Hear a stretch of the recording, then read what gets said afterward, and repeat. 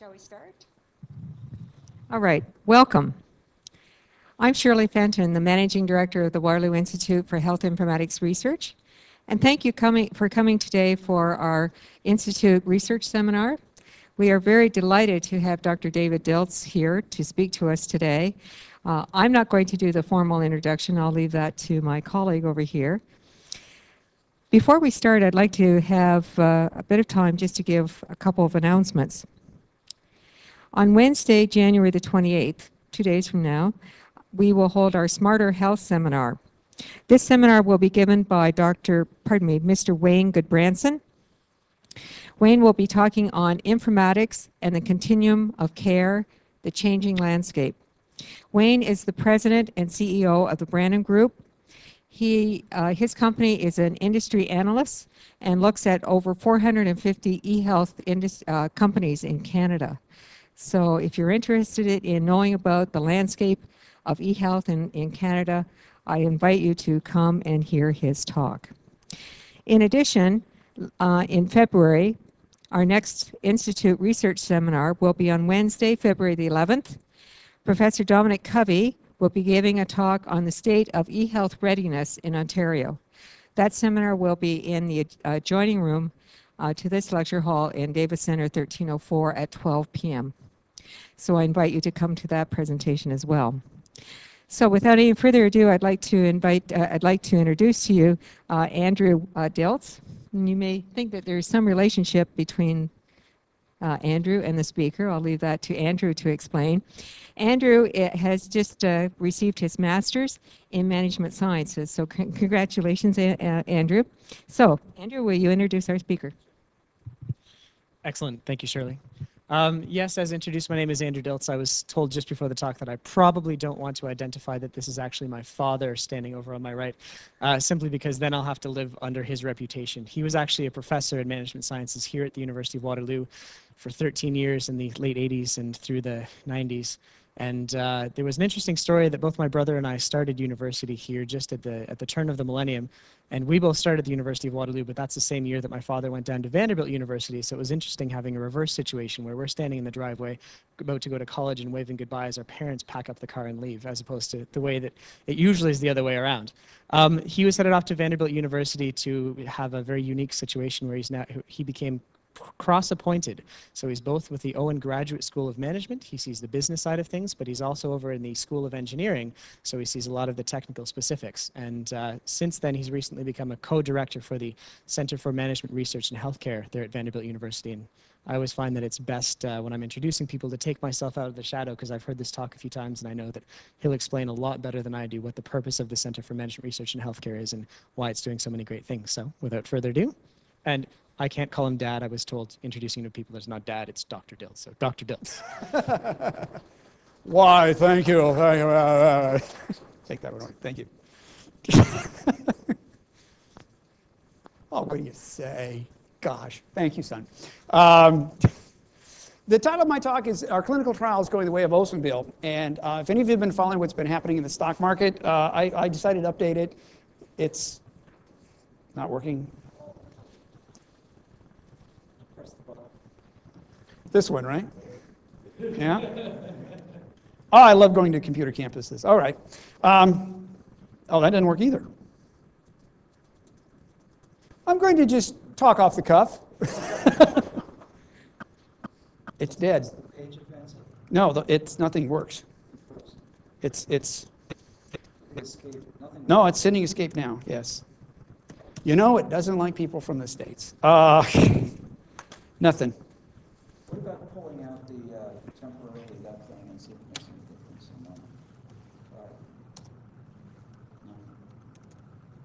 No. Have you ever seen somebody give a 15-minute talk with one slide?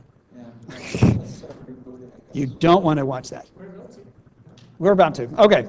Um, okay. I'm gonna I'm gonna let the people do this. Okay. Um, you go ahead. I'll go ahead. Let me talk about what I'm going to talk about. Um, what happens is when I was here at Waterloo, I used to study the automotive industry. And, and I uh, basically looked at things called computer integrated manufacturing and how, to, how things like the US automotive industry tried to automate and work their way out of problems. And since then, uh, since I've been to Vanderbilt, I've started studying oncology or cancer clinical trials research. And there's an amazing amount of similarities into what cancer clinical trials informatics look like today and what the automotive industry looked like in the early 80s. And so I'm going to talk to you about a lot of those analogies um, soon. Uh, before I do that, let me kind of give you a background. Um, what I'm going to do is I'm going to song and dance while they work on the technology. Um, let me explain how oncology clinical trials work in America. Uh, number one is there's a thing called the National Cancer Institute, um, which basically is the major funding source. And they fund two different major areas who do research, one of which are called cooperative groups.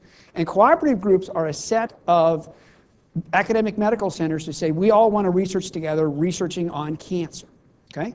Then, so cooperative groups are a joint of them. Then what happens is you have academic medical centers who have what are called comprehensive cancer centers or cancer centers, and they do specific oncology and cancer research. Then you've got community practices, and community providers basically say, I'm a local physician and I want to do oncology research. Right? So you can do oncology research, any of these set of streams, but primarily it's funded by the National Cancer Institute. And as somebody who used to teach management sciences and who also teaches in business, that's the second slide. Keep clicking it. One more. Okay.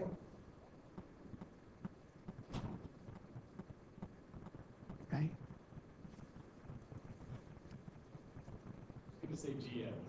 Hmm?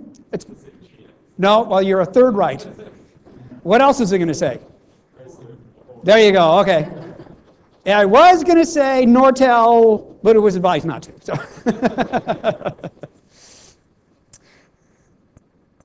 So basically, um, what happens is Oldsmobile. Oldsmobile was the first automotive, first gas-powered automotive car in America. It was the first car in America to have an automatic transmission. It was the first car to have a GPS system in it. Okay? It was the first mass-produced car. It was before Henry Ford started mass-producing cars. Okay? And it was the best-selling car in North America in 1976. It went completely broke in 2004. They shut it down, okay? Because it couldn't sustain its the challenges and the changes, okay? So when you look at oncology and you look at cancer clinical trials and say there's tons and tons and tons of money being poured into this stuff, it's got to be successful. Well, the answer is it's not, because you're pouring money into stuff that's really basically not going to work. Um, so what happened is I started this project by talking and actually investigating Vanderbilt University, and I said, how do you open a cancer clinical trial? Tell me what it's like to do a cancer clinical trial. And first they looked at me like, well, no one's ever asked us that question before. And I said, well, okay, let's see how long it takes. Let's see what it takes to open a cancer clinical trial. And we did, and when we did that, the first response was, oh my gosh, it can't be that bad. So I said, well, yeah, it really is that bad. So the, the US federal government said, well, we're going to fund you to find out if Vanderbilt is uniquely terrible. So I went out and I studied a cooperative group, basically one of these amalgamation. I said, you know what? The cooperative groups are even worse. And they went, oh my gosh, this is really bad. So I tell you what we want you to do. We want you to study another cooperative group. We want you to study three more comprehensive cancer centers. And we're the first independent group that's ever been studied how the government itself approves clinical trials. And we put them all together. We went, oh my goodness, it is really bad. Uh, and so everybody's kind of shocked at how totally abysmal it is about how long it takes to get stuff started. And when we talk about taking stuff started, I, I, I can wander. You ready for the blue screen? I can go by the blue screen. You can put whatever you want behind it. Okay, you have this really, really, really neat idea for a cancer clinical trial. Basically, it says, I've got this wonderful drug that may in fact cure cancer. From the time he says, I've got this neat, wonderful study, and I'm going to take this study and I'm going to hand it to you in my university to open a study, how many days do you think it takes for him to wander through the entire system before you can actually put the first patient on study? How long do you think? Huh? Two years. You're a little short. You're a little long. Cut it in half and you got it. Two and a half years. If you have the cure for cancer in your hand today, before you can get started getting the first patient takes you two and a half years. By the way, you have to do this three times because there's three phases of study. Phase one basically says, I don't know if it kills anybody, so I've got to try it. The second phase of study says, let me try to figure out kind of roughly what the diagnosis or the uh, dosage should be. And phase three says, okay, let's try that dosage in a whole bunch of people. Okay? Every phase takes about two years to open. Now, there's two major problems with that. Number one is if you're a company or you're a, you're a brilliant young investigator and you have this really neat molecule and you go out and you patent this molecule, you only have that patent allowed for how many years? Hmm? How many years do you have a patent for? 20 at most. It depends, really depends, but let's say 20 for right now, okay? If you have the patent for 20 years, it takes you two and a half years per phase before you can do it, plus it takes another year to put patients on the study. So you got three and a half years per phase, so you're in 10 plus years before you can even think about getting into the marketplace. There's two problems with that. Number one is that 20 years is fixed by government law, which means it's going to run out of patent, you're going to lose all your money, which is why cancer pharmaceuticals are exorbitantly expensive. If you came down with cancer in America today, they would give you one drug that's $50,000 a regime. That means to go through this, $50,000. The shots, just the supplementary shots alone are $3,000 a shot, and you need one per cycle. Why are they so expensive? Because you had to wait 10 years before you could get into the marketplace. So one problem is the money. The second problem is you had 10 years worth of patients or 10 years worth of cancer, um, people with cancer who ran into difficulty and issues. Okay? Imagine if we could cut that two and a half years in half. Okay? We can take it from two and a half years down to, say, a year and a half. Is it working? Oh, We're restarting the computer. Oh, we're being recorded, so I'm not going to say anything about Windows. so, um, so number one is imagine how many people are harmed by that, and then imagine what would happen if we could actually do this faster. Now, there's a really interesting thing about clinical trials. Is number one is when you do a clinical trial, you also want to have a fast failure. In other words, if I put this into somebody, I want this to be, if it's not going to work, I want to know right now because I don't want to keep going. I don't want to have a study that drags on and on and on and on and on and on. Well, that part of the problem is called accruals, and accruals talks about who actually shows up to do a cancer clinical trial. What we've also studied in some of our other research is basically how long it takes to get patients on study. And when I said it takes about a year, that's really optimistic. If you're doing a phase three clinical trial, which is the last phase, usually it's multiple years, which means the more years it takes, the less time you have for your patent and the more impact or the more harm you might have with, with patients. Okay? Um, this is actually harder to do than you think. Uh, let me talk about the methodology, what you do with the methodology. What we did is we went into uh, an organization, and there's three steps in the methodology. We come up and said, hi, we're from Vanderbilt University. How you doing? And the first thing they said is, you're with the medical school. And we say, no, we're not. And they go, what? I'm from the Owen Graduate School of Management, which teaches MBAs, and I'm also from the School of Engineering. And they go, what? Right? You mentioned about Bill Hirsch. You know, I'm going to go see Bill. Yeah, Bill's over there. You know, it's like, I'm not from that part of campus, kind of a thing. They go, oh, okay, fine. And we say, okay, we're going to do three things. What I want you to do is I'm going to sit down with everybody who's in the process of opening a clinical trial, and I'm going to ask you, tell me what you do. And you'd sit there and say, well, I do this, and I do this, and I do this, and I do this, and I do this. And it's like, oh, that's really interesting. Then we go out and we get the policies and procedures manual. There it looks like, that looks like a policies and procedure manual I've ever seen one. Look at this policy and procedures manual. Look at the size of this sucker. This, this, this is a policy. Look at this thing. I'm going to steal this sucker. This is, this is what you get as policy and procedure manual. Okay? My God, here's what you should be doing. Right? Here's the listing of exactly what you should be doing. This is a policy and procedures manual. Then what happens is we do a really sinister thing. You're going to hate me, but I don't care. Uh, this is a policies and procedures manual, and we go through this, and we go, oh, you know what? She never mentioned this part. Oh, okay. And then we'd do the absolute most sinister thing. We would go down and we would actually go through all the paperwork it took to open a clinical trial. Okay? And we have done this dozens and dozens and dozens of times. And every time we've done it, we say, please give us a typical clinical trial. And they say, oh, that would be this. And they say, here. And we go, oh, okay. Well, yeah, this is, this is pretty typical. Yeah, okay. Uh, oh, this is pretty, yeah, you said this. And you turn the page and go, oh, but, but you never said this. And you know what they would say universally? Oh, that one's different. We have never been to a place that they didn't give us the typical clinical trial that wasn't different, that wasn't special. It's like, okay. Now, as people are interested in informatics, you want to know the real terror? There is about 50% overlap between what you say you do, what the policies and procedures manual say you should do and what you actually do. Half the stuff doesn't fit. Okay? When you actually put it together, it doesn't fit. Our most dis- disturbing time when we did this is we went through one of these things and we interviewed everyone in the organization. We'd gone through all the policy procedures manuals, and we went through one clinical trial and we found a thing called a pharmacy manual. And we had no idea what a pharmacy manual was. And we went to the head of this organization and we said, We've gone through all your records and we found this thing called a pharmacy manual. And he said, and I quote, Damn, we could have used that. and it was like, okay, you need a bunch of people from the business school and from engineering to go, hi, we know what your system is. Like, oh my God. Okay, so that was really scary. Now, another reason we do this, we go through this, I will give this back. I tend to walk off with people's phones. That's why I give this stuff back. Okay? Now, let me give you an example of why we do this. We actually want to study why people think they do what they do because you run into some really, really interesting things.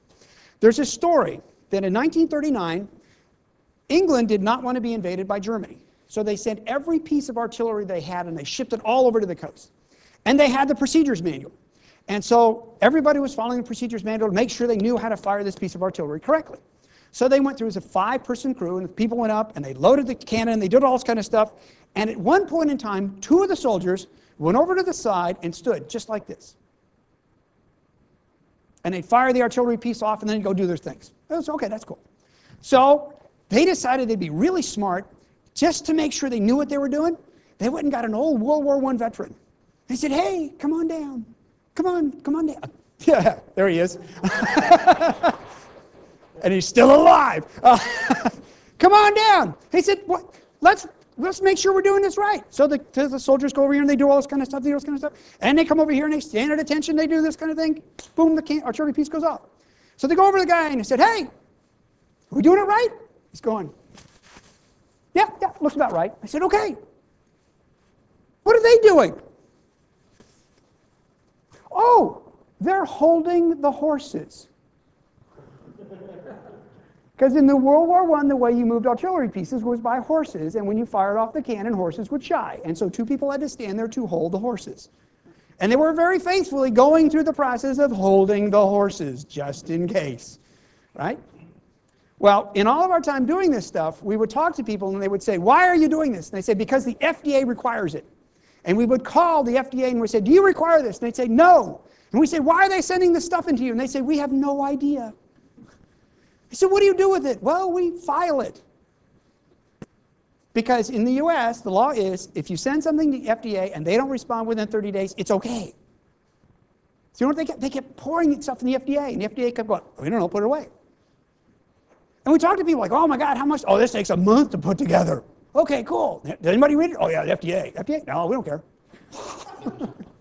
oh, okay. Now, after doing this, we created what are called process maps. And process maps basically say you lay out every single step in the process. Who's involved, what do they look like, and what do they do? Now, we build big process maps. The smallest process map we built is 30 feet by 5 feet in 8 point font. Okay? That's one step in the process, one phase, okay? I love process maps because I was sitting in front of the, the, um, the director of the National Cancer Institute presenting some of our data. And the director of the National Cancer, John Niederhuber, is a very smart and very busy individual. Okay? And I'm sure, particularly the faculty have sat in meetings where you're giving a meeting, you're giving a presentation, everybody's doing this. You know, nobody pays any attention like you were doing, you know. Where you were, you were day trading, I know, before this, but okay, yeah. right? And so everybody sit there and do this. And John was sitting there, and I'm not, never met the man before, and I'm making the presentation, and he's just not paying a damn bit of attention, which is just scary. So we start unrolling the process map. Now this process map is 50 feet long by 5 feet, okay? So we start unrolling it, and we're unrolling it behind him. And so, by the way, just to let you know, that's probably from there to the end of that second panel. That's how big these things are, five feet, okay? So about yay high. So he's doing this, he's going,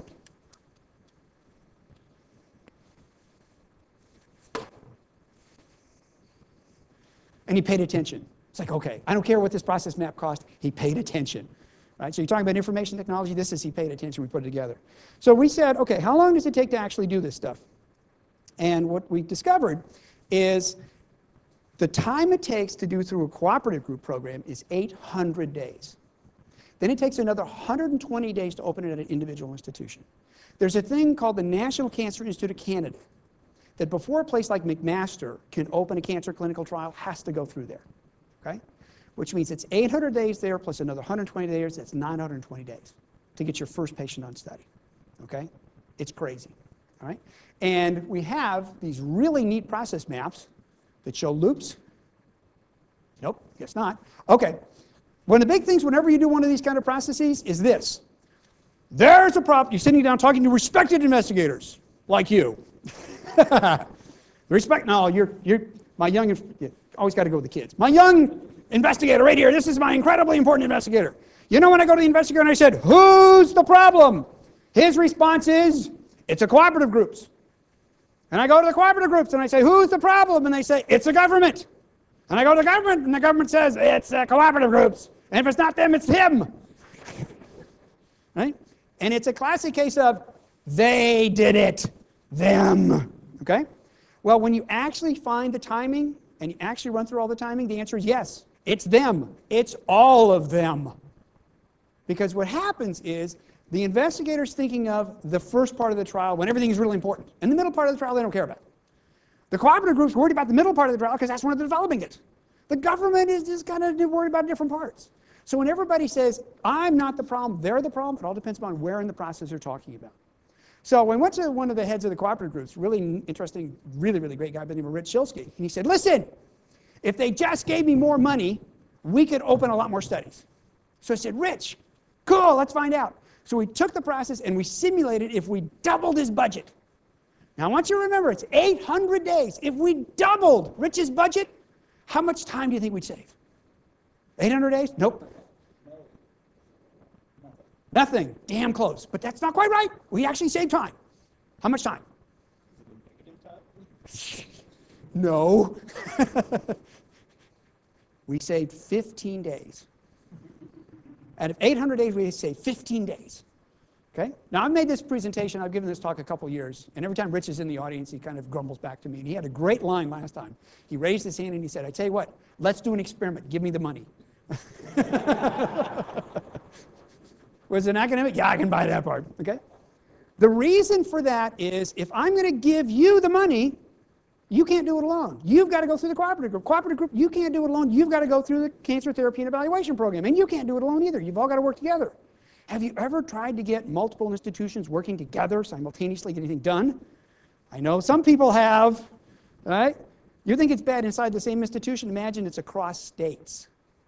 And they all have to agree together to all work together to make it work. Okay? It's really, really, really, really hard to do. Okay? It's very, very, very difficult to do. Did I kill your computer? Do I have to buy you a computer now?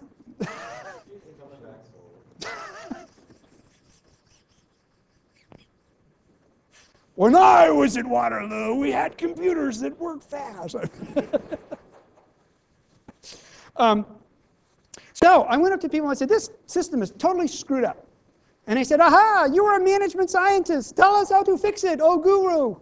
And I went, Oh, okay. First thing to do is stop accepting everything. Now, what happened is there's my brilliant young investigator. Brilliant, absolutely brilliant. Going to win a Nobel Prize in about 90 years. you got to still be alive for it, but I'm going to be nice.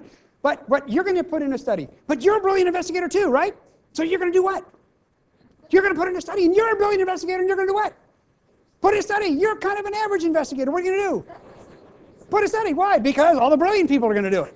Right? So I'm going to put a study. What happened is the cooperative groups would accept all kinds of studies. And I listened to them do this thing. In one of the cooperative groups, unknown, I was sitting in one of their meetings. And they're sitting there saying, okay, we have this study. What's, no, I picked on you. What's your name? Chantel? Chantel. Chantel's got this study. She's been working on it. It's a great study. Then one of them says, now, if we open the study at your institution, how many patients will you accrue? Say five to 10. There you go. How many patients will you accrue? Say five to 10. Good. How many patients will you accrue? Now, you're smart. He goes, you know what? Chantel? Chantel, Chantel's study is really good, but you know, there's another study that they've already accrued 1,000 patients on. And they're doing the data analysis now, and they're about to publish in the next year. The leader of the group said this, and I quote, That's all well and good, but Chantel spent a lot of time in this. How many patients will you accrue? And his, five to 10.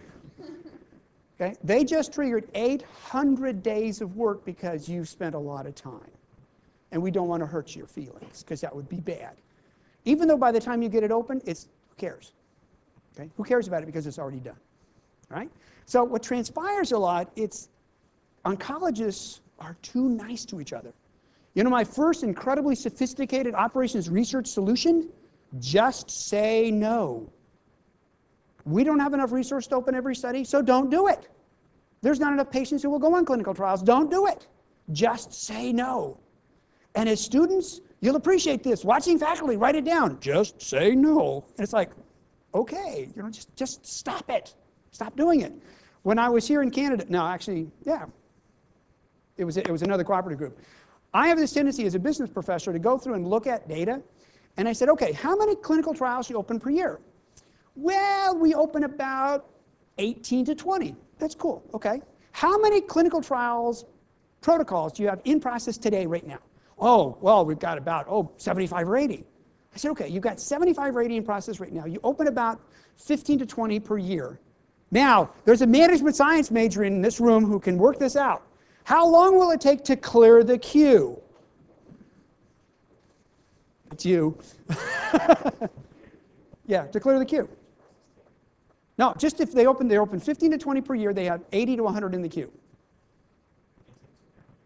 Yep.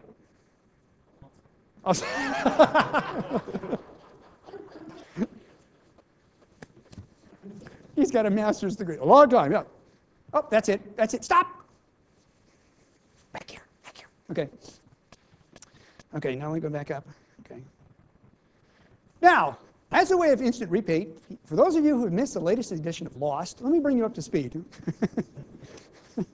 um, by the way, nobody ever does this alone. You always do it with a team. There's a team of a bunch of people that work for us, from MBA students to master's students to um, PhD students um, and postdoc students. Okay, so what do you think when I say I read it in the journal? Okay, when I do this in medical audience, guess what? They read it in the New England Journal. What do I read it in? The Wall Street Journal. Right? So right off the bat, we're not talking the same language. You're talking about informatics. Informatics is hard because we don't talk the same words. We don't mean the same thing when we say the journal. By the way, you want to know the weirdest thing about medicine? I still don't understand this. Do you know the second most prestigious place to be on the article?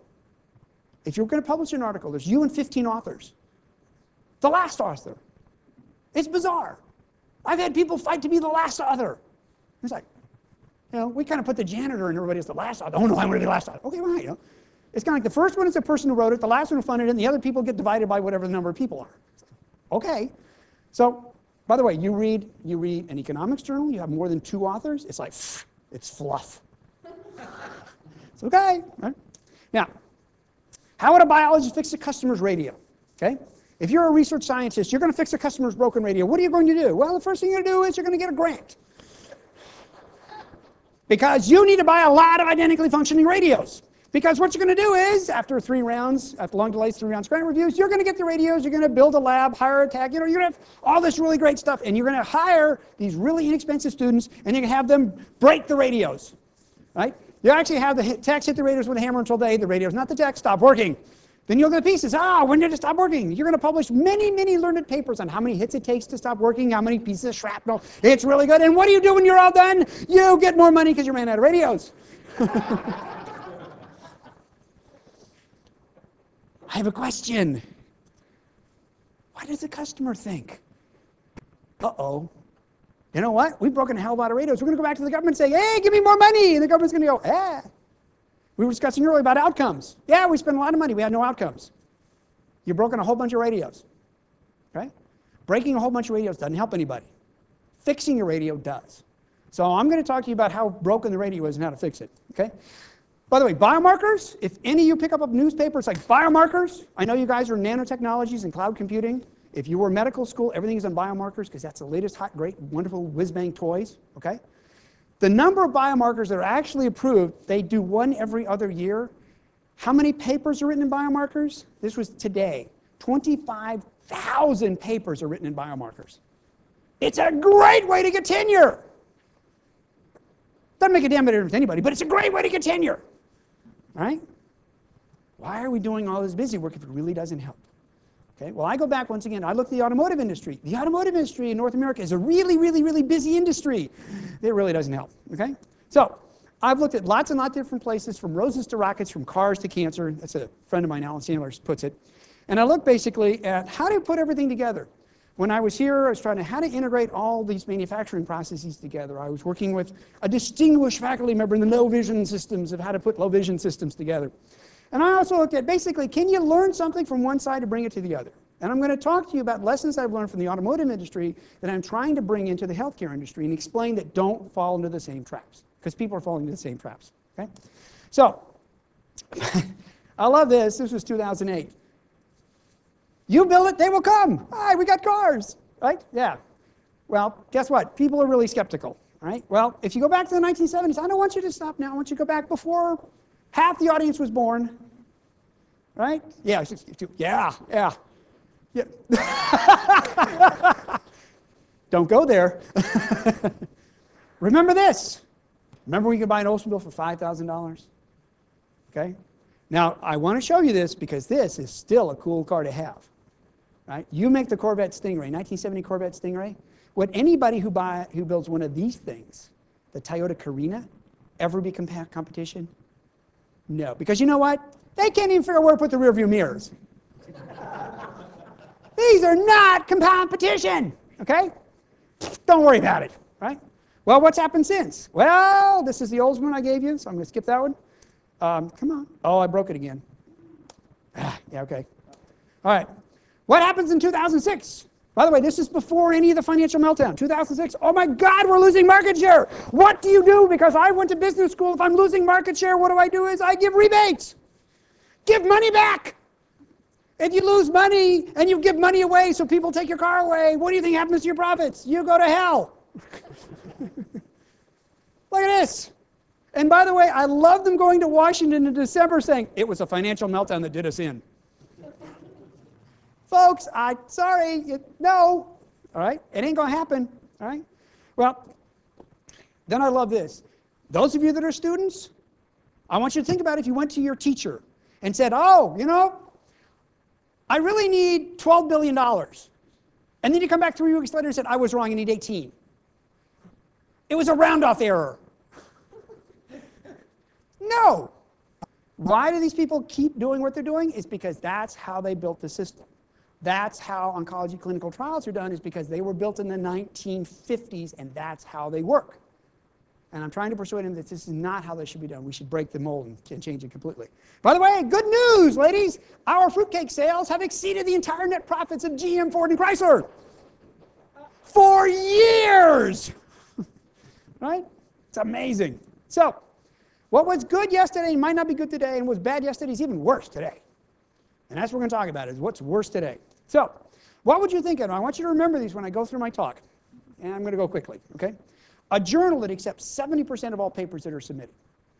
What would you think of a builder who always quoted 60 days to remodel a kitchen, regardless of the novelty or complexity of the remodel or how long similar jobs have taken in the past? Some of you have actually done construction work or watched someone do construction work on your kitchen. It's always 60 days. 800 days later, it might almost be done, right? A coffee franchise that even after building thousands of coffee shops had no way of knowing if building a new one would take a year or seven years. Just never knew. They just take as long as they take. An airplane company that never flies 30% of the aircraft they design, and a sports team that never finishes 64% of the games they start. They didn't win, they didn't lose, they just quit. They walked off at the end of the periods. What do they do in hockey? Periods? Three periods. Three. Second period, they walk out the second period, go, oh, that was fun, let's go do something else. Why? Okay? Remember this because we're going to come back. Now, you want to know the most disturbing thing? None of them knew about it and none of them ever asked why. It took somebody from outside to go, excuse me? This is really not very good. Okay? So remember these numbers. We're going to come back to them in my talk. Okay. So we talked a little bit about it. Discover. Sorry, I don't care. All right. This is like, wow, I got this really neat molecule. This is really, really, really cool stuff. I'm going to put it in laboratory. I'm going to torture Graham Strong's jacket. I'm going to put it in rats and mice and all kinds of stuff. Make sure they don't die. If they don't die, I'm going to put it in humans, and hopefully they won't die either. If they don't die, this is good. Now I'm going to try to figure out what kind of exact kind of dosage I should have. Once I figure out the dosage, now I go to the big, long, lots of people studies. Then I go to the FDA, and then I go to any kind of post-marketing. If any of you ever read the Wall Street Journal, this, the Wall Street Journal hates the FDA, and they bash this like crazy. They ignore all that part. So the part I'm looking at is that part. I'm looking at the phases of clinical trials. The, the minute you start putting in a human being until you send it to the FDA to get it approved, that's what I'm researching, particularly in oncology. Okay? Now, promise, the premise, the time to go from what's called bench to bedside, from the time you discover to a patient, cannot be reduced if you're doing what are called non-value added activities. And I'll talk about that, what those things are in just a second. Okay. I mentioned this, this is so they are, they got the NCI, the cooperative groups, the designated cancer centers, and community oncologists. So there's different networks. And I thank all the study sites because it's really embarrassing. I come up with really, really embarrassing data and they all go, thank you. Right? So, I mean, I come up with stuff that's not, not well, could be looked at negatively. It's a proper way to phrase it. Okay. So I talked to you about process maps. We talked about what you say you do, what you should do, what you do. Then I talked to you, oh, by the way, this is the very, very, very first one we did. And way over here, way over here, is when you have the brilliant idea to do the study, and way over here is when you actually close down the study. And we said, where do you open the study so first patient kid involved is right there. All this work, this is the trial steps. This is when you have patients involved. This is how much time it takes to get set up. Students, once in your life will you find someplace that no one's ever, ever, ever researched. This was that time. There are dozens of papers on here about how to increase accruals, how do you speed up the process, all this stuff once the study's open, and nobody studied how long it took to set up. Because that's just how long it took. That's exactly the same philosophy that Oldsmobile had. How long did it take to set up to make the car? Well, as long as it took. Toyota said, no, we're not going to play that way. We're going to change this very dramatically. We're going to focus in on setups. So I'm taking a lot of stuff that Toyota already knows how to do and apply it into the medical realm and look specifically at setups. And I mentioned what you find out in setups. Oh, by the way, setup's a big deal. This is what this 56% of the time of a total time of a study is running the study. 44% is actually setting it up the study. This is phase two. This is phase three. 55% is getting ready to work, and 46% is actually doing the work. It's a hell of a lot of time to do the work or get set up to do the work. Nobody looked at it. Okay? And it's over all phases of studies. Okay, now, can you tell me the punchline? You know, the horse? Right, holding the horses? Okay. My question here is how many horses are you holding? How many things are you doing because you do them? Because that's how it's done. When I was in industry, um, I, we used to have a thing called a page 13. A page 13 was a bunch of statistics that my company built. We were a wholly owned subsidiary of a really, really big company. And my accountant spent like two weeks gathering all this junk that we never used. And so one time I said, okay, listen, what I want you to do is I want you to create it and I want you to put it in your door and I don't want you to send it to anybody. And she's going, oh my God, I'm going to get fired. And I said, no, no, no, I'll take the heat. I'll take, just put it in your door. Don't do anything with it. She's, okay. So we sent it to my boss, sent it to my boss's boss, sent it to my general manager, sent to my area manager, sent to our regional manager, sent to our vice president, sent to our president, sent to the chairman of the board, secretary, and we got a phone call. Somebody uses this. And she called and I said, Where's page 13? I said, Aha! What do you use page 13 for? She said, I put it in charts. Cool. Who looks at the charts? Another quote. The chairman's father used to. Okay, thank you. No. How many horses are you holding? How many things are you doing because you've done it? Because that's the way we always do it. Okay? Stop it. That's what we do is we look at processes, and before you automate a process or before you put computers in, figure out what it's supposed to do and get rid of the stuff it's not supposed to do, as opposed to automating things that shouldn't be automated in the first place. Okay? So, what can be done before any clinical trials opening? They're called the dreaded TLAs or three-letter acronyms, which are things like institutional review boards, scientific review committees, contracting grants, clinical trials office, clinical research centers. All of this stuff is fixed cost. All this stuff is setup time. Nobody's ever looked at it. They just take how long they take. We're the first people to look at it. Okay? This is what it took to get. These are the people who would have to sign a study that I would do at Vanderbilt University. Here's all the people that had to sign, and here's all the people that may have to sign. Now, you want to hear the real interesting thing about this? They had 23 separate signature lines, and 22 would not sign until 21 has signed, and 21 wouldn't sign until 20 is signed, and 20 wouldn't sign until 19 is signed. They had somebody whose full-time job it was to go sit in somebody's office with a piece of paper going, Hi, Oh, hi, you're here. Here, please. Okay, sign. Okay, I'm going to go sit in somebody else's office, sit and wait. Why? Because it had to be signed. It had to be signed in order and sequence. That's a classic non-value added activity. It didn't change the safety of the study, didn't change the efficacy of the study, didn't change any of the scientific aims. It didn't do anything, except it did wonderful backfill to make sure all the paperwork was correct. Nothing, okay? So, then we actually looked at timing, how long it took, and actual accrual data. I've talked a little bit about this, a little bit about this. I haven't talked about this. This is the real scary one, okay? You did all this work, did anybody show up, okay? So this is what a process map looks like, and they're fairly standard and straightforward. I've got this idea of a concept, and I send it in for a review, and people vote on it. Then I do a concept review. Then I send it to the government. They develop a protocol. Then they develop forms. They develop basically funding. They develop regulatory affairs. You notice the brown boxes are all government agencies that get involved. Then they have what's called a centralized institutional review board review, and then they send it out. Okay? High level looks pretty good. Detail level looks like this. This is the smallest one. This is 35 feet by 5 feet in 8-point font. When you actually put them together, you can't do it just with a cooperative group. You've also got to do it with the Cancer Therapy Evaluation Program and the CIRB. This one is 50 feet long by 5 feet. They have to also work with the one that's 45 feet by 5 feet. And you still can't put a patient on yet because it's never been appointed or approved at any individual hospital. That's another 37 feet. From the time Dominic had his brilliant idea, way over here, here's all the steps and all the processes and all the people that I had to go through before Vanderbilt, or excuse me, before Waterloo could put the first patient on study. Okay? Now, you're a bright young investigator. No, you were only modest, but okay, you'll be bright young investigator now. Okay? There's my bright young investigator. You are now just graduated, you've just got your newly minted PhD, and you have this really cool idea. And I look you in the eye and I say, aha, this is a really cool idea. It'll take you two and a half years before you can get your first patient on study. Then it'll take you another year before you can collect enough data to analyze. Then it'll take you another year to analyze the data. What's going to happen to my bright young investigator? All the faculty member know she's not going to get tenure because you know what?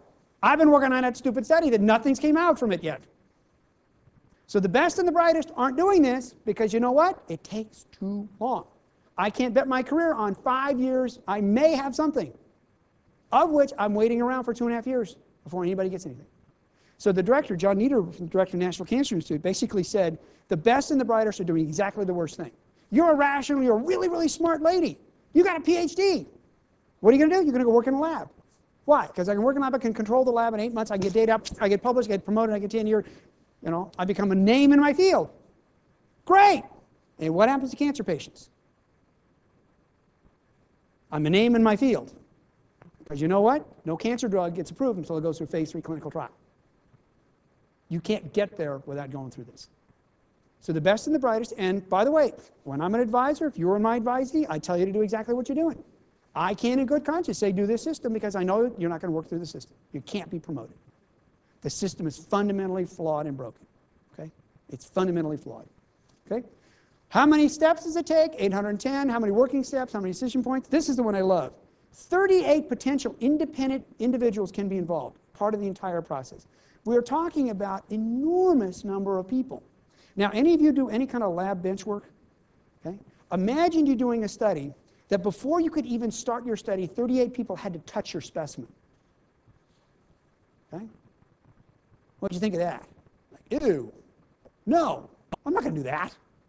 That's just, well, that's just how the system is. Okay? 38 separate groups have to approve it. Okay? Now, we talked about a little bit about the flow. This is, this is an example of what's called a loop. Okay? You have the bright idea, you're the investigator. By the way, here's you, you're the study chair, you got this investigator, you send it to the cooperative group, they do some stuff, they send it down to the cancer therapy evaluation program, we send it back up to the cooperative group, we send it back to you, send it back, send it back, send it back. These are called loops. Here, I got a good idea, I sent it to them, who sent it out here to the CIRB, who sent it out to CTEP, who sent it over here, who sent it back to me.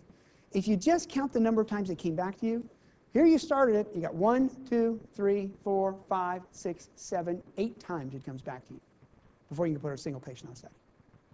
It's ridiculous. Look at how many times it goes to here, the Cancer Therapy Evaluation Program, how many times it goes to the cooperative group. It's not the fact that anybody's doing anything wrong, it's just the fact that you have to do it again and again and again and again and again and again. Okay? We need to cut down the number of loops, the number of times it keeps repeating itself. Okay? Why do you loop? Well, part of the thing is in medicine, uh, in general manufacturing, what you're trying to do is called inspecting quality. If I keep looking at it, I'm going to make it better. So everybody keeps looking at it because they really don't know whether they can trust the system or not. In manufacturing, you build a process that it's really, really, really hard to make something wrong. Um, it's a USB drive. I cannot put the USB drive in upside down. Well, I could, given a big enough hammer, but it's really, really, really, really hard to break the system, okay? So engineering spends a whole lot of time making sure it's really hard to make something that's wrong, as opposed to saying, geez, I made one, I better inspect it, and I'll inspect it again, I'll inspect it again, I'll inspect it again. I better have a lot of people inspect it because I might have missed something, okay? So they attempt to inspect inequality. We're trying to say, let's build a process that you don't have to do that. So the process itself is inherently of high quality and faith, okay? Also what happens, you get scope creep. You know what? Dominic's a brilliant man. Dominic always has brilliant studies, but you know, he's not really very good at optometry. So you know, he's got he's actually he's actually got a patient in optometry. I got to send it by Bob up there. Oh, I got to send it by Graham. Oh my God, we're never going to get through. I got to send it by Graham. Graham's going to, you know, this is a wonderful study that doesn't say squat about forensic optometry. And we all know that forensic optometry is the be all end all of everything optometric. I'm not going to prove it unless you do something about optometric, forensic optometry. Dominic's going, what the? Yes, Dr. Strong, not a problem, Dr. Strong, you run. Yes, I will put it in, right?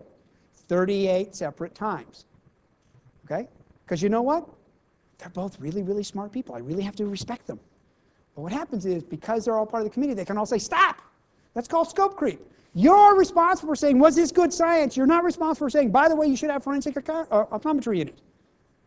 But we're all good scientists, and by the way, we all do really good research, which means everybody ought to do our kind of research because it's really good. Right? Right? Scope creep happens all the time. Okay? Lots and lots and lots of theory stuff. Theory, more reviews, better study. Practice, more reviews, slower opening. And there's no documented evidence more people looking at it makes any difference. Okay? How many duplicate, redundant, and minimally added steps you think are in this process? Let me cut down one small little piece of this process, just tiny little piece of this process, called the Institutional Review Board at Vanderbilt. Okay? We looked at this stuff and we said, okay, we have eight primary people, primary groups that have to be involved. We have three secondary people that might be involved. We have 26 separate paperwork steps of moving things around. We have 12 value-added steps that actually made a difference to the study. We've got 29 separate sub-approvals. We have nine ways to die and one way to succeed. The only thing messier than this is Department of Defense procurement. Right? One organization, I love this. One organization, their idea of a value added thing is they had copy and sort day. They would take every study that came in and they would make 25 copies of them and they'd put them on things like this. They'd stack them up, okay? And everything that was going to go through the Institutional Review Board, they'd have a big stack of. And then one day, they had a team of people who would go in and pick a study up, and pick a study up, pick a study up, pick a study up, pick a study up, put it in a packet, and hand deliver it to the person in the IRB one complete day of the entire staff of the clinical research office. And they went, that was very productive. No, right? That's about as unproductive as you can possibly, all they were doing is shuffling paper back and forth. Okay? That's a non-value add activity. It made no difference to the value of the study. Made no difference to the safety of the study. How do we get rid of those things? When you actually break it down, we find out high level, it's about 75% of the stuff add value. When you actually detail it, it's about half the work you do makes a difference. Usually I give this talk in front of people who have clinical trials offices who are working 12-hour days, working their little tails off, and I say half of what you do is busy work. And they go, oh, oh, oh. You could take half a week off and no one would notice. What? Right? It's amazing how much non-value added activity. Let me give you a microcosm of non-value activity. I was asked to give a grand rounds talk at a major academic medical center, and they sent me a piece of paper, and I said, okay. And I filled out the piece of paper, and stupidly I turned it back quickly. So you know what happens if you turn it back quickly? They send you more pieces of paper. So they sent me four pieces of paper. They fill out these four pieces of paper. And I said, aha, this is wonderful. On four pieces of paper, I had to put my complete name and address in three different areas. I'm almost okay with that. They also had three different places to put my AV requirements. Some people in this room know me. And I said, aha, let's see who wins. I need 35 millimeter slides. I need PowerPoint. I don't need anything. And I'll show up and see who wins. If somebody's got a projector, yes, okay, I know the people over there want 35 mil. I got that. Why do you have the identical information put slightly different ways? Because you can. Because this was done for continuing medical education group. That was done for another group. That was every group has their own particular form. Well, number one is how much time did I waste filling out the same thing three different times? Number two is what's my chance of making a mistake? If you do exactly the same thing three different times. By the way, were they embarrassed? Oh, I said, hi, this is you guys. Going, oh my God. Non-value added activity. Why do you do it? Because I need a special piece of paper just for me. Okay? And I'm going to put it in a slightly different place, a slightly different way. Don't do that. That's non-value added. Okay? Lots and lots of stuff. Basically, things don't affect the quality, safety, the efficacy. Don't do it. Okay? Note, if you don't get any patients involved, in other words, you do no samples, you've done all your work building your survey, and nobody answers the survey, it doesn't matter. So let me talk about that. Oh, this is the time. Here's the basically the 800 days it takes to get started, the median of 800 days. Here's the median. This one's these gave us outliers. Here's the median days. Okay? And so this is how long it takes. By the way, it takes anywhere from one and a quarter years to about seven years. And I said, aha, tell me the difference between those studies. The answer is we don't know. What's your name? What? Naomi. Naomi's got a real interesting trial. She's, Naomi's going to put in the trial. You can either get it open in a year and a quarter or seven years. And Naomi's response is, What's the difference? The answer is, I don't know. What do you mean you don't know? I don't know. Some do, some of them don't. Okay? How do you manage that kind of thing? I just don't know. Okay? Some, some comparisons. Disneyland was created from breaking ground of the first paying customers in 366 days in 1955. John Kennedy was office, in office for a little over a thousand days. I had a Canadian example was it was politically incorrect, so I took it out. So, yeah, like it's think of a prime minister who's in for a really short amount of time. I, am not going to go there. Okay. Now, this is an example of the flow. This particular study, when we traced it down, it took 975 days. Here's the amount of time it took in each of the steps, in each of the phases, in each of the groups. It's just a phenomenal amount of time because you keep doing it again and again and again and again and again. Okay? The current system is inefficient, time consuming, and underfunded. Yes, enormously. So when I look to every other place on the planet, every other place on the planet, new to the world products have gone down by 42%. How long does it take to build a brand new iPhone or the brand new i whatever they're going to build next? Faster and faster and faster. What happened to drugs? Drugs have gone up from 56 months to 144 months. It's worse and worse and worse and worse. We're making it worse and worse and worse. Okay? We need to fix it. What happens if we double the budget? I already mentioned that. I said nearly nothing, but they wouldn't turn the money down, which is true. okay? When functional areas don't quite fit together. it is actually owned by the Harley Davidson company, but that's a different issue, but okay. We actually simulated what would happen if everybody played well together. We said, what happens? This is what it currently looks like after five years, about 99 studies, takes about 800 days. If everybody just worked together, we would go from 99 to about 121 studies open. We would reduce the time down to 552. What's even more important for Naomi is this. I can do it from plus or minus 760 days to plus or minus a month. I can bet my career in plus or minus a month. I'm not going to bet my career in plus or minus 760 days. And you know what we did? This entire incredibly elaborate, sophisticated operations research simulation said play well together. All you had to do to play well together is set the same priorities on studies. That's all we said to do. That's it. If they did that, that's the kind of phenomenal change we'd have. And you should see bureaucrats running, oh, really? Hmm. No, we couldn't really work together with them. So, conclusion there's no simple silver bullet that's going to fix it. Everybody complains to everybody else. There's no, there's things that are called floating bottlenecks, so basically things that move around and around and around. And only by working together can you dramatically change things. So, I'm going to talk a little bit about this one. You've done all of this work. 920 days of your life you've spent doing this. Guess what? 30% of the time, nobody shows up. Not even your patients go to your study. 60% of the time, less than five patients show up. These are four major academic medical centers that were selected because they were the best in North America at oncology clinical trials. This is not average, these are the best. 60% of the studies from the best result in under five. Can you publish a study with under five patients? No. All that work, all that time, all that effort, you're going to spend all that time and you got a 60% chance of getting nothing. No, I don't think. Oh, by the way, you have a 10% chance of succeeding. Anybody want to bet your tenure? Right, I got real money, I'll bet you. right? It's incredible. We broke it up basically whether they're cooperative group studies or non-cooperative group studies, and we still found it's phenomenally. This is if you started it and only going to run it at Waterloo, 20%, nobody shows up. It's your own study with your own patients, and you don't even accrue people. Why? Because you can't, Because you can open a study and open a study and open a study. Okay? This is really when I go to the clinical trials office, people I say, take a day off because you know what? Nobody's going to show up. Nobody's going to notice. These are people who are working incredibly long, incredibly hard hours because they're constantly building studies, but nobody shows up.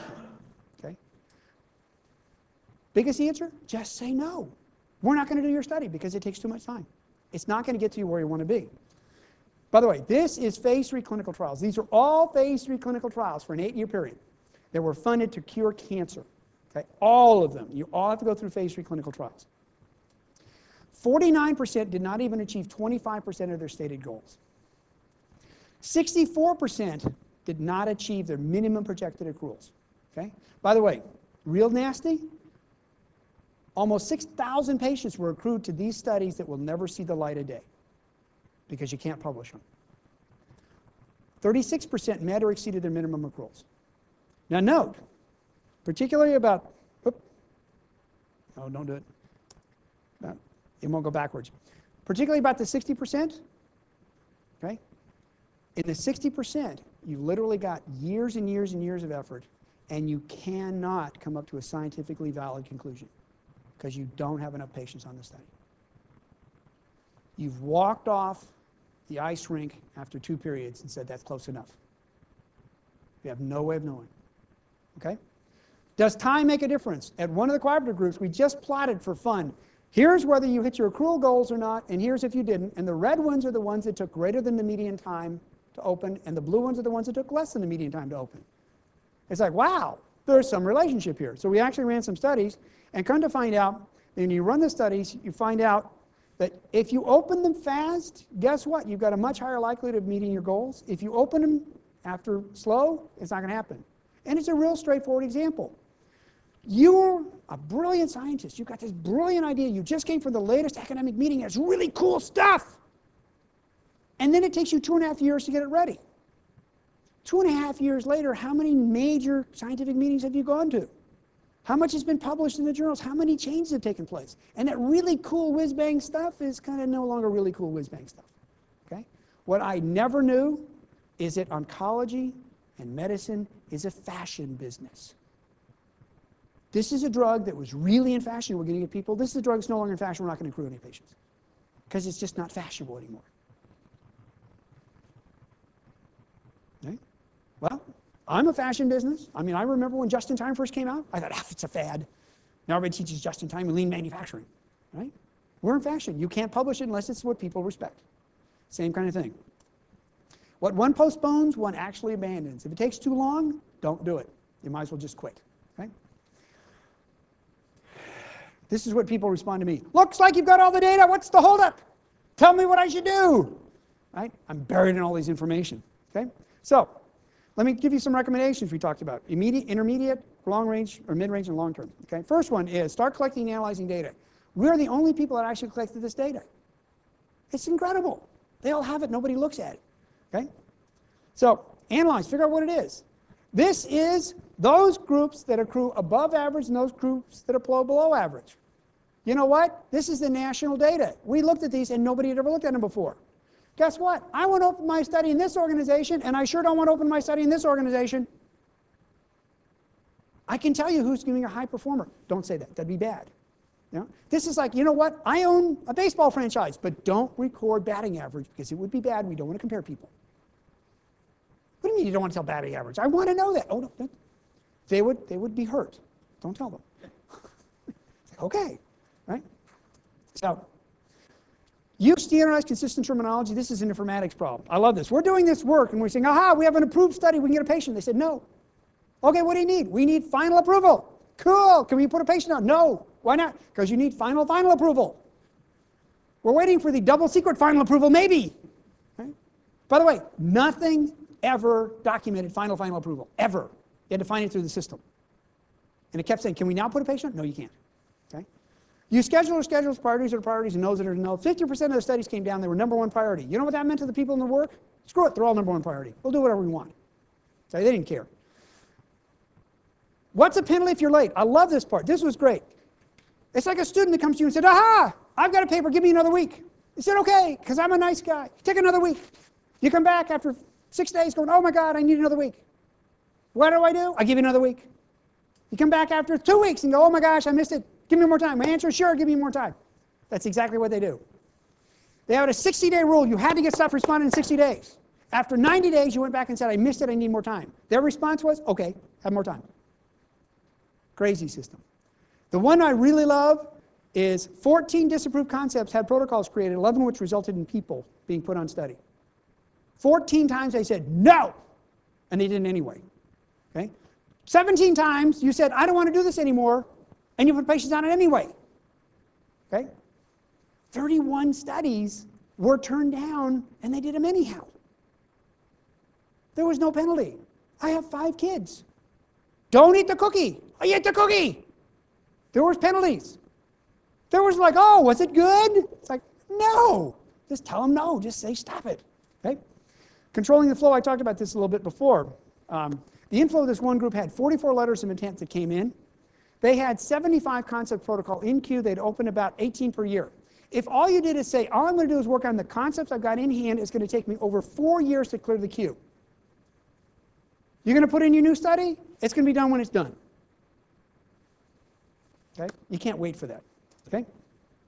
So a no uttered from deepest conviction is better and greater than a yes merely uttered to please or what's worse to avoid trouble.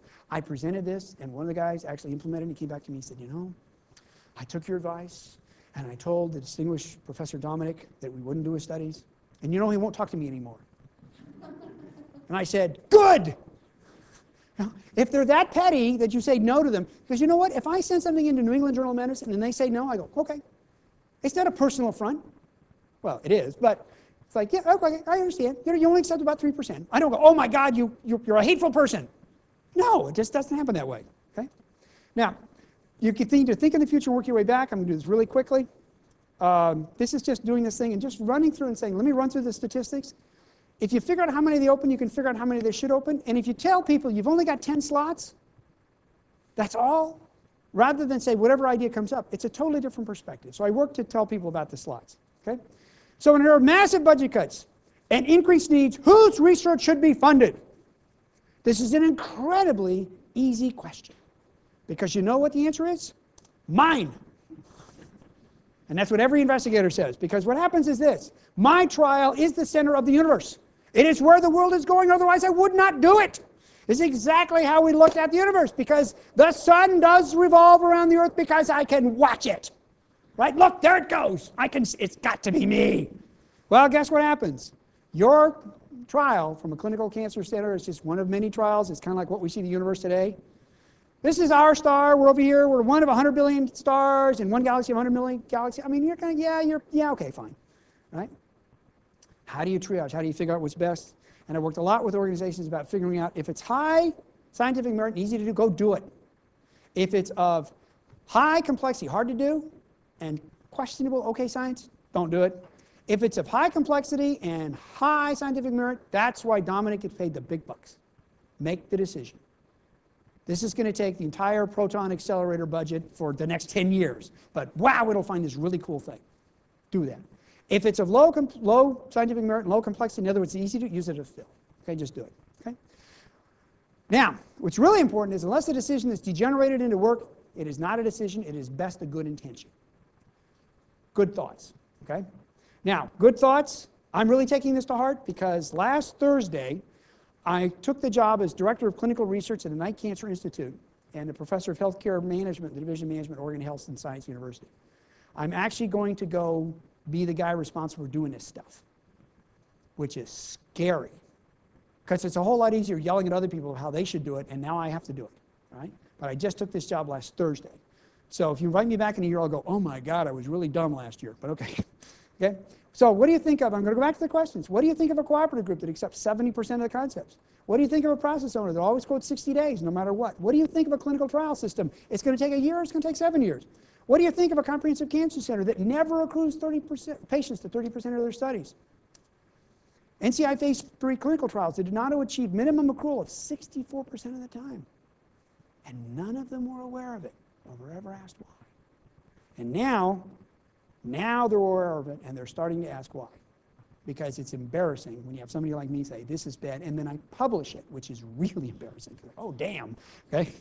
So, there's some good news. There's places like the Mayo Clinic's doing some neat stuff. The NCI has just done a standardized contract language, which is phenomenally important. It's going to be really speed up the system. I, when you do this kind of stuff, you get invited to all these national thingies. I'm part of the Institute of Medicine meeting. I'm part of what's called the Operational Efficiency Working Group stuff. But I want to bring it all the way back. This is what really is most important. This is what's really critical. There are 1.4 million cancer incidences per year in America. There's about 600,000 deaths. In Canada, there's 138,000 instances and about 66,000 deaths. Think of what happens if you do my one engineering economic or one engineering formula. Think of the days it takes to do a setup for the co- comprehensive cancer, the cooperative group, the number of phases, and all we do is reduce the non-value add activities by a little bit, by about 25 percent. What happens, the bottom line to cancer patients, if you just cut out 25%, you're going to affect 2.6 million cancer lives. If you do it with cancer deaths, you're going to affect about a million cancer deaths. Why aren't we doing it? All because of paperwork. Okay? We need to fix the system because it's broken and people are dying because it's broken. Thank you.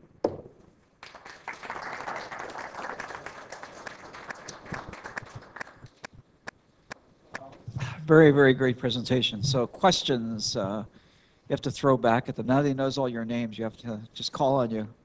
Questions or comments from any of you? Sir?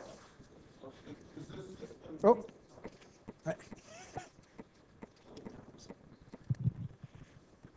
I would think this system then, in terms of groups going forward with drugs and so forth, would uh, favor the, the big companies? In other words, if you start out as a no? not at No, actually, it doesn't. What, because what happens is, what, what, what transpires is researchers look for the really neat molecule or the really neat drug. And, and so what they'll do is they'll say, wow, that's a really neat drug. What, what happens in smaller companies is not so much the, the startup process, is when it gets in the middle of the process, they go, okay, when can you supply me? And the startup company goes, excuse me? You know, we're going to need 3,000 doses of these things by tomorrow. And they go, excuse me? And, and the problem is just being able to scale up and deliver the drugs. So the, the problem is not, uh, from that regard, it's not, the, the interest is there from the scientists. One of the real, one of the most difficult problems, and it happens in cancer, it's not a single drug treatment. It's when you put two drugs together, you get significantly bigger bang for your buck. But if those two drugs are made by two different companies, that is a phenomenally hard thing to do, not because of science, because of contracting. Okay? Let me give an example. Viagra, for what it's used for now, is an unintended side effect of a drug for hypertension. It wasn't built for that. And somebody wrote down, well, that's an interesting side effect, right? Well, the question came down to who owned the discovery of that side effect? Because the company didn't know it did it, but the people who did the study knew it did it. So who owned that discovery?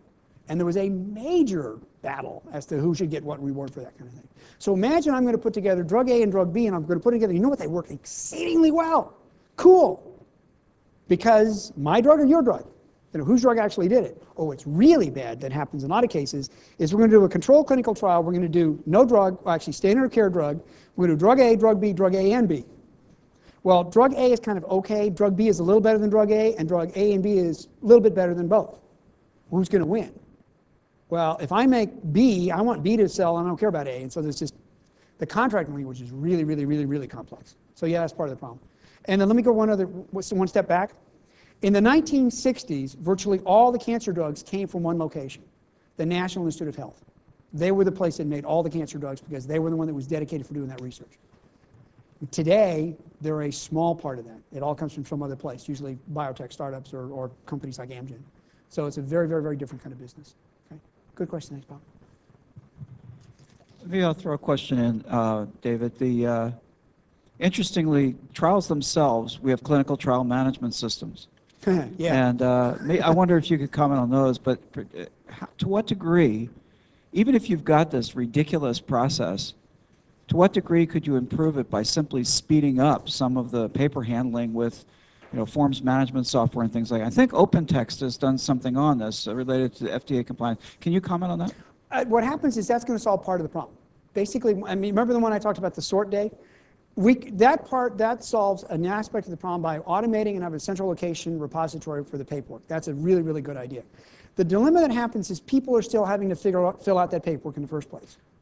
And there's an enormous amount of paperwork, as I showed you with those four pieces of paper, that, that we just automated that. Well, the answer is why? Why not just have one piece of paper with standard headings and then everything else fills in? So some of the clinical, most of the clinical trial management systems I've seen are built to automate what you already do. As opposed to say, why do I do it in the first place? Let me clean out the underbrush and let's build a system today. Uh, and, and you can save probably, this is a guess, 10 to 15% by automating and get rid of a lot of that stuff that you're doing today. But the fundamental changes that need to take place can't be done by doing that. It, you just can't make it significant enough. Um, and, and I mean, it, it's just not going to happen. And my problem, my issue with that, and, and, and as an old computer guy, is, is the more you get a clinical trial management system, the more you calcify into a computer your processes, the harder they are going to change. Anyway, basically, it's like that's how the computer does it. And I'm sure you and I have both been to systems that you say, why do you hit, you know, why do you have to hold shift control Q down? Well, because that's how it's programmed. It's like, just don't do that. So that, that's part of my thing with clinical trial management systems. Some of them are, are good, but they're not going to fix the system. Um, matter of fact, the NCI is working on a thing that I don't think is going to fix the system because it's a point solution as opposed to an overall solution. I worked in, uh, did some major research project in Mount Sinai Hospital in New York, and uh, they um, automated, I think it was the accounts payable area, I can't remember, and uh, with the expectation that it was going to make a big difference in the handling of requisitions, and it made no difference Right. because uh, really the problem was uh, getting the requisition signed, which required over 20 signatures. I mean, that's a real study and it's real, real work, and we have this problem. But if you take those process maps, which don't have really a time dimension in them, okay? No, Okay. Are there any points in those process maps that if you had to hit on the big delays, in other words, that would make the most difference? Or is it just spread out? Is it sort of a disseminated disease? Or are there any local nodes or, or, or lesions you can remove? Okay, it, it is a disseminated disease, but you can, you can solve parts of it. The dilemma that happens, um, am I doing it right? Uh, the dilemma that happens is because, no, I'm not doing it right. Uh, because it's spread out so many places. And what happens, and, and this is what everybody kept asking me, is if I just hire more protocol clerks, if I just hire more of fill in the blank people, life will be much, much, much better. Okay, and the answer is it isn't going to work. Wherever it is, oh, there it is, okay? The dilemma is this. I'm going to come in here, I'm going to solve this little piece right here. And boy, if I solve this little piece, life will be really, really good. The answer is, well, yeah, but what happens is you solve this little piece, you're not going to save that amount of time because suddenly it's got to go down here and you're going to lose that time.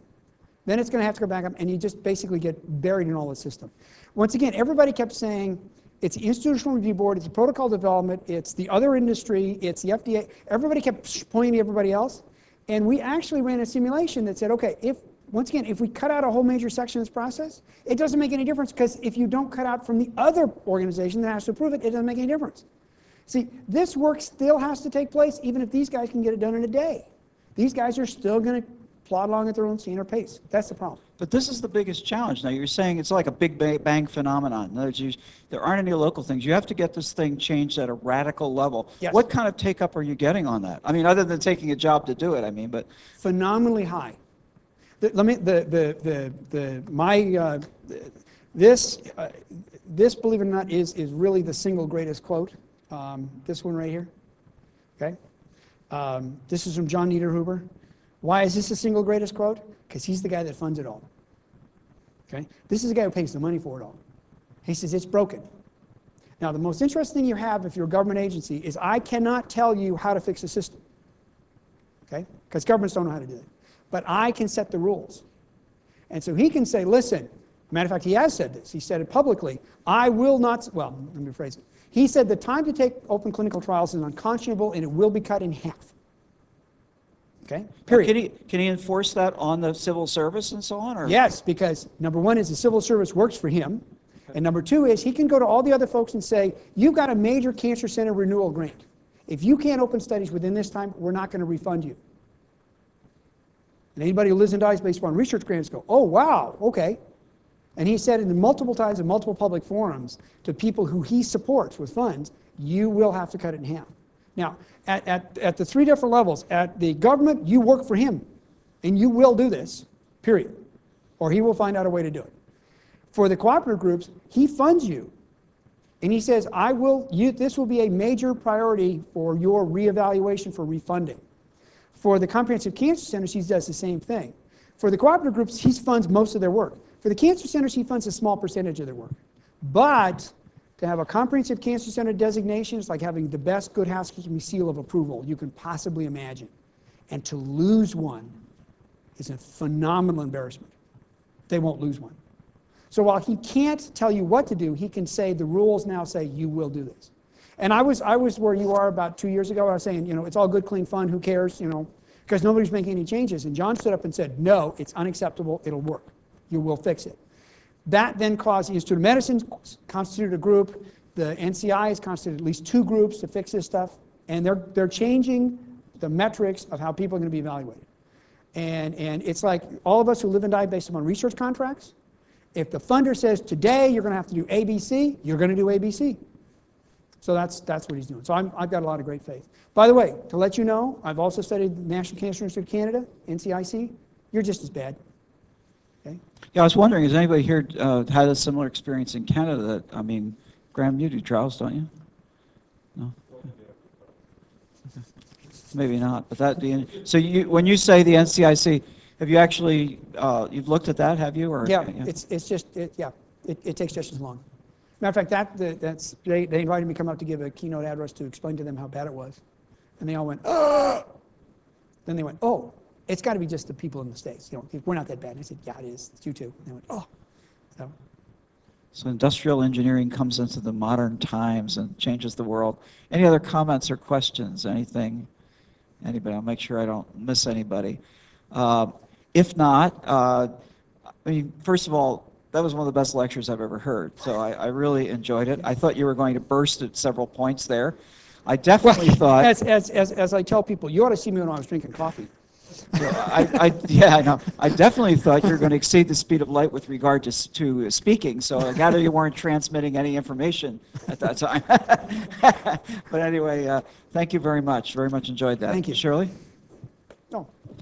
No, I just want to say thanks as well, and thank you, thank you to all the people that came out to hear the talk today. Thank you very much. So uh, I look forward to you all coming back to our next seminars, uh, one on Wednesday and one on February the 11th. And thank you again so much for coming and visiting our university.